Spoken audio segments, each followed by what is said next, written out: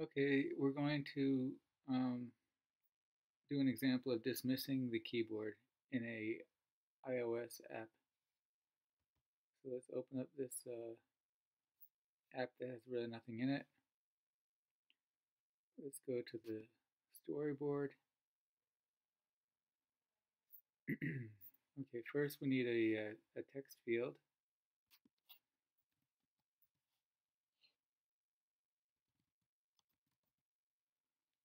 Um, okay. Oh, we need to go into the uh, we call that the object library. Yeah, and there's a text field. We'll put it right here. Okay, and now let's select this and go to the identity inspector. Is that right? Oh, oh no, actually that's that's fine. Uh, we need to set a um, a delegate. So let's wait here. Do that. We can see. Um, okay, there's no file owner. Where's file owner? They don't have that. So I guess it would go to view controller. We're gonna. We need to set the um, delegate. So this would be like file owner, I guess their outlets, delegate. Let's go. Ah, trying to go close up here. I guess we can't. Okay. So let's set the delegate, go to view controller, and we'll pick outlets delegate.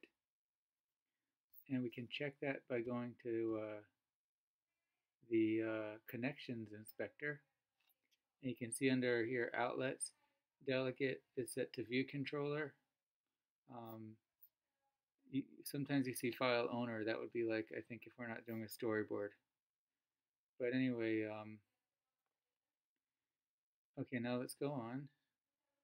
Next, we want to go into the, oh, well, okay, view controller, and um, we want in the uh, here in the uh, class extension in viewcontroller.m, the implementation file, we want to implement or we want to conform to UI text field delegate.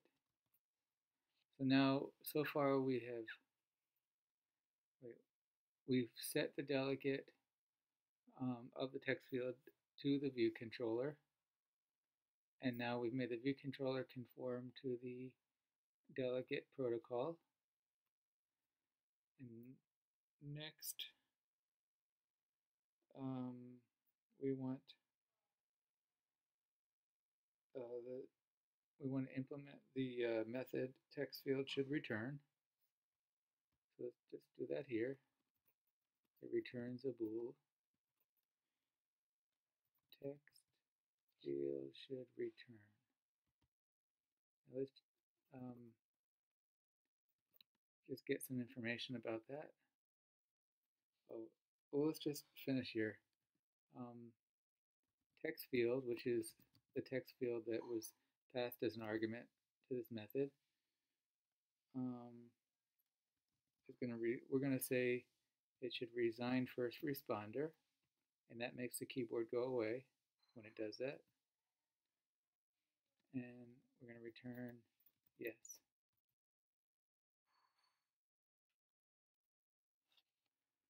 Okay, so that means text field re should return is called when you push return or enter on the keyboard. And so this is one way to make it go away when you push enter. And let's get some more information about this method. It's uh, declared, and, okay.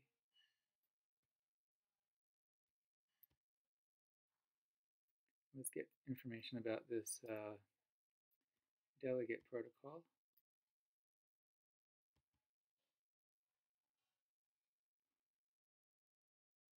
Okay, and this is where um, we have this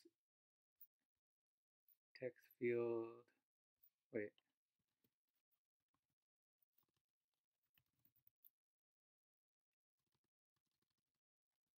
should return. Is it in here? Yeah, text field should return. So that is described in this delegate protocol. So that's what why we do this. So um, the text field will uh, will cause this to be called in the delegate um, when when you uh, click enter a return. Get rid of that. Okay, let's run it and see if it works.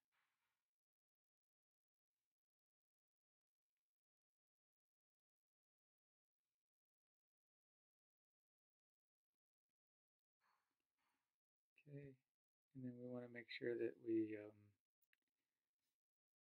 don't uncheck this so we'll get a keyboard when we go in here. Okay, let's type a few letters and then push return. Oh, there goes the keyboard.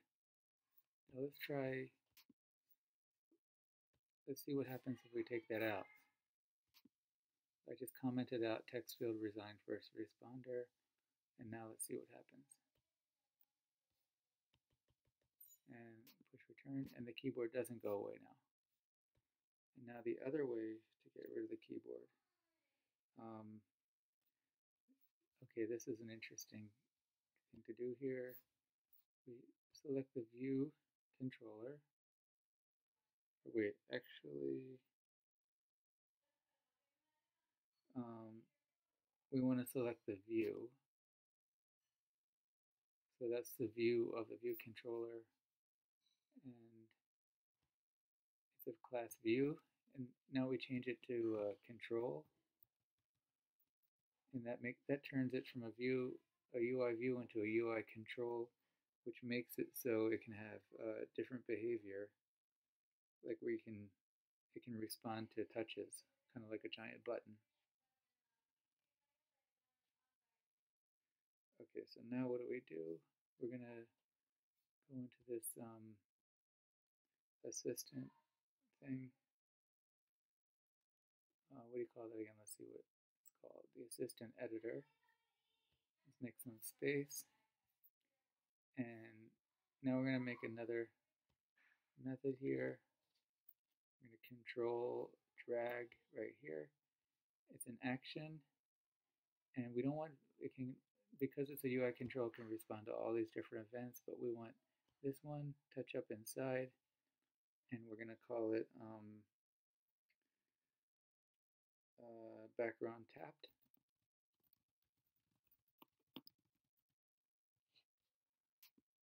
And guess what we're going to do inside of it?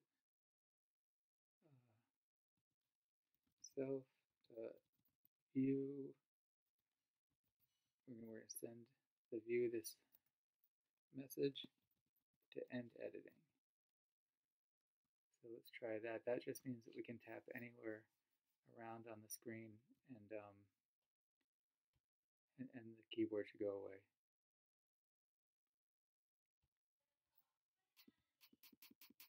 And now let's tap here it went away. So let's see what happens if we didn't have that. Let's try again.